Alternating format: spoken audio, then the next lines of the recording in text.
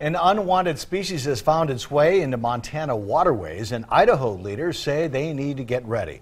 Right now, the zebra mussels in Montana are not in waterways that flow into Idaho, but they could cause millions of dollars of damage to critical infrastructure, including hydroelectric plants. And once they're in, it's hard to get them out.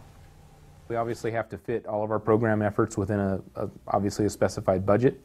Um, but as we get data about what specifically Montana has going on there, as we get data about what our connection is, we will review and we, we may need to enhance some of those some of those uh, operations. To combat the threat, the state may change the hours and locations of boat inspection areas and pay closer attention to watercraft coming in from Montana. Those changes could start as early as next spring.